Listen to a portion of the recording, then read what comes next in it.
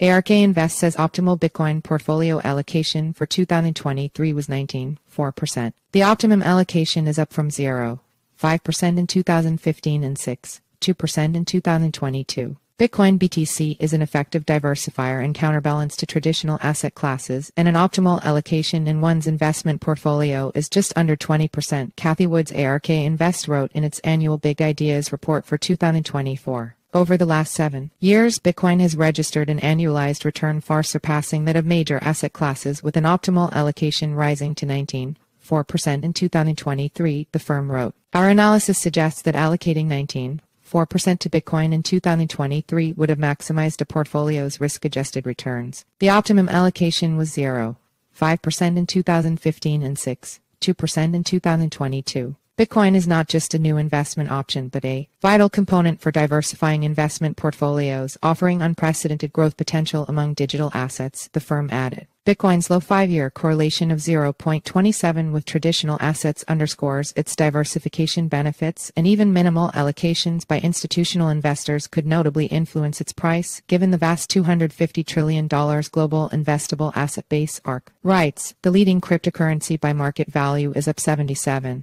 8% over the last year, according to CoinDesk Indices data. In a recent report, JP Morgan attributed Bitcoin's recent outperformance and year high to increased institutional demand, highlighted by significant inflows into large wallets and a spike in CME Bitcoin futures used predominantly by institutions. However, this institutional driven rally might be coming to a close. The Guppy indicator, which sparked a 70% Bitcoin rally in late 2023, is now signaling a potential bearish downturn. The ARK report also notes that most of the 2022-2023 crypto winter crises have come to a close. FTX recently announced that it plans to fully repay creditors, while Celsius will be distributing $3 billion in equity allocation in a new venture as part of its bankruptcy resolution.